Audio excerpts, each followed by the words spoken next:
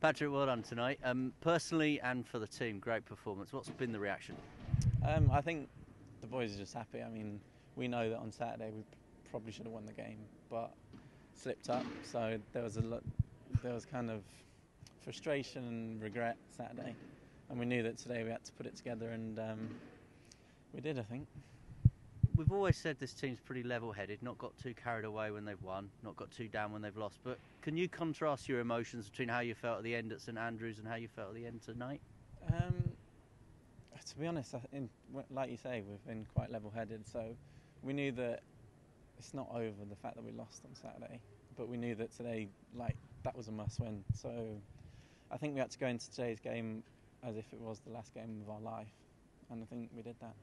And for you personally, what were you thinking going into this game? You think I have to score tonight, I have to be on the score sheet this evening? Do you know what? I've, I've, I've taken quite a bit of stick last few games, and I, I know there was I can't remember which game it was, but I didn't play well, where I missed the penalty. Didn't play brilliant, but um, I just tried to like I kept working, kept doing the same things that I've been doing that have kind of got me to where I am, and um, I knew that if I kept kept like level-headed and as a striker you can't like get frustrated about missing chances. I think the more you miss, for me personally, the more you miss makes it more likely that the next one's going to go in. So if I keep shooting, then I'm going to score, and that was what happened tonight.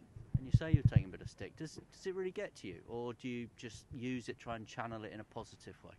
Uh, no, uh, to be honest, like I said, it took stick, but it, it doesn't really affect me. Obviously, sometimes I actually laugh at it, thinking, God, like, imagine if it was vice versa. But um, it's one of them where I can feel the fans' frustration because I was a fan once at Forest, and I'm sure I've given players a fair bit of stick from the stands. But um, it's one of them where I, I knew that eventually it, it would it would go in, and um, they have their right to be frustrated because the games are so important. And I was frustrated as well personally, like not scoring.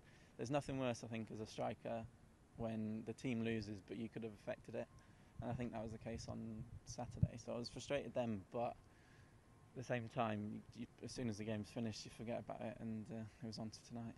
Sweet to score twice in front of those fans who were then singing your name for the rest of the game and thought you might have got a third as well. Yeah, the first one. I should have scored. Um, I should have had a hat trick. As soon as I went inside, I said, should have had a hat trick. But I, to be honest, I think my legs. I tried to dink the keeper. I don't know if you saw exactly what happened, and I kicked the floor. So it's better we don't talk about that one. But um, yeah, my legs were tainted by the end then. And just finally, pressure on Sheffield United now. Will you sit and watch that game, or will you just look the score up? Will you follow it? Um, to be honest, I'll probably I'll, I'll, have the Champions League on, on the TV, but I'll probably have Sky Sports News on the iPad or something like that. But I'll have my feet up, that's sure. Well done tonight. Cheers. Thank you.